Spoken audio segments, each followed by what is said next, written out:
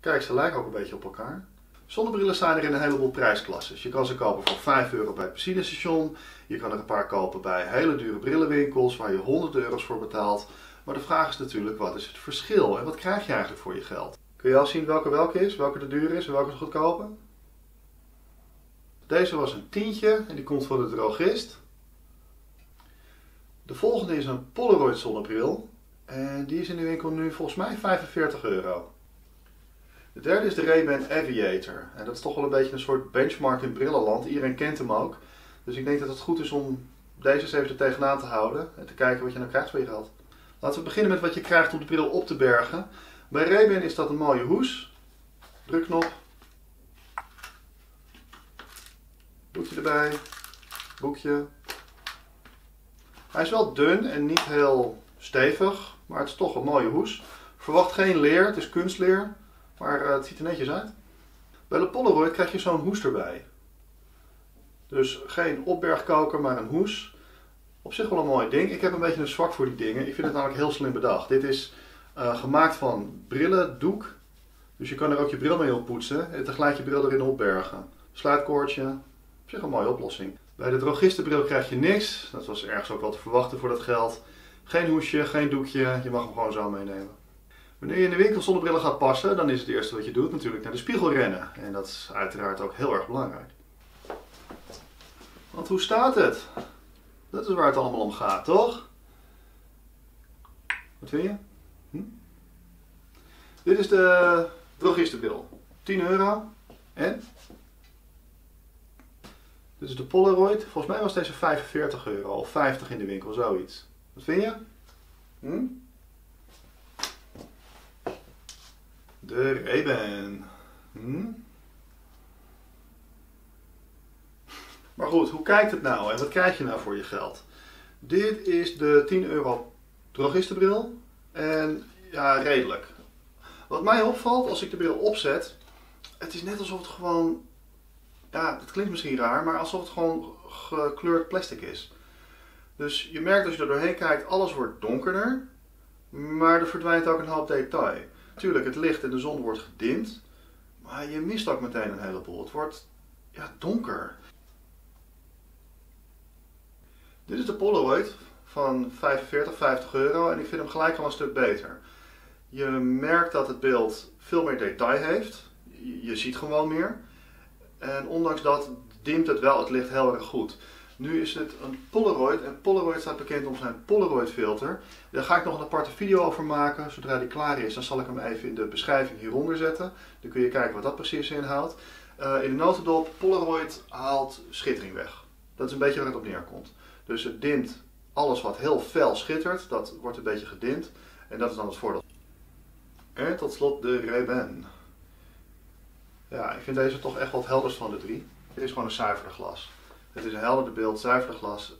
Je merkt ook aan de zijkant dat die helderder is. Dus bij de andere brillen merk je van rechtuit gaat het goed. En als je door de zijkant kijkt dat het ietsje minder wordt. Gewoon door de ronding in het glas dat niet helemaal zuiver is. En daar heeft deze geen last van. Dit is gewoon overal zuiver in die zin. Over de kwaliteit van de brillen. Als ik mijn welgevormde achterwerk zou laten neerstrijken op eender deze drie brillen, dan zijn ze alle drie stuk. Dat kan ik je garanderen. Uh, toch voel ik wel verschil erin. Ik merk dat de Ray-Ban het meest solide voelt. En als je brillen gaat testen, zou ik je dat ook aanraden. Hou ze in je handen, klap ze een paar keer open en dicht. Het, het geeft een bepaald gevoel. Je voelt hoe sterk of solide zo'n bril is. En de Ray-Ban wint wat dat betreft duidelijk. Ik denk dat deze de brillentest het best zou overleven de meeste kans maakt, laat ik het zo zeggen. De Polaroid zonnebril is ook niet slecht. Het valt me wel op dat de glazen erg dun zijn. En ook als ik ze vast heb, dan kan ik ze een klein beetje heen en weer bewegen. De glazen voelen dun. Ik kan ze naar voren en naar achteren bewegen. Het zou dus ietsje dikker moeten maken. Verder valt me op, het montuur is behoorlijk goed. Je hebt van die veerscharnieren erin zitten. En dat zijn niet eens slechte. Dus wat dat betreft niet verkeerd. De bril van het tientje die voelt echt rammelig. Echt los. Je merkt het ook aan de scharnieren. Je hebt het gevoel dat elk moment iets los kan komen of zo. Ik denk dat dit een goede bril is voor, voor, voor een festival of zoiets dergelijks, maar ik zou er niet mijn dagelijkse bril van maken. Bij alle drie de brillen heb ik ook de UV-filters gemeten. Bij de drogistenbril, die zakte echt door het ijs. 70% van de tv werd gefilterd en de rest niet. 100% voor de Polaroid. En ook deze Ray-Ban, hoewel die soms bij sommige metingen bleef hangen op 98%. Um, het viel me wel vaker op het verleden dat uh, Ray-Ban bij de UV-meting 96, 98%, af en toe 100. Uh, soms net wel, soms net niet. Heel opvallend. Maar de Polaroid dus sowieso 100%. Bij de Ray-Ban zonnebril, als er iets stuk aan is, dan kun je gewoon het onderdeel nabestellen en kun je het gewoon vervangen. Dus als er een oortip, een glas, uh, een neuspet, wat dan ook, alles is los verkrijgbaar. Bij Polaroid is dat niet zo. Bij de Polaroid kun je in ieder geval wel de neusneutjes vervangen, mochten die een keer op zijn, of een keer een oortip, en dat zal dan een universele worden. Uh, maar in ieder geval kun je er wat onderdelen aan vervangen. De logistenbril helaas, helemaal niks. Als het stuk is, is het gewoon stuk kunnen weggooien. Het volgende aspect, als het gaat over duurzaamheid, is wie maakt die brillen? Hoe goedkoper je gaat, hoe twijfelachtiger de afkomst meestal is. En dat is bij kleding zo en dat is bij brillen niet anders. De ray die worden in Italië gemaakt, dat weet ik. Voor zover ik weet, de Polaroids ook. Maar de drogistenbril, 10 euro. Ik produceer tegenwoordig zelf ook monturen en je kunt je afvragen, uh, als een bril 10 euro kost je komt daar nog winst op maken, wie maakt ze dan? En onder welke omstandigheden? Ik zie dan meteen zo'n fabrieksarbeider voor me die voor 12 cent per uur in uh, minder dan ideale omstandigheden bezig is. Maar het is misschien iets om even mee te nemen als je gaat kijken naar een zonnebril. Beste kijkers, alles wat nu volgt is mijn mening en mijn mening alleen. Ik heb de afgelopen dagen de brillen even geprobeerd en afgewisseld en mijn conclusie is, je krijgt waar je voor betaalt. Uh, de bril van de tientje, ik zou hem niet eens als reservebril willen eerlijk gezegd. De UV-bescherming is onvoldoende en het montuur, het zit ook gewoon niet lekker.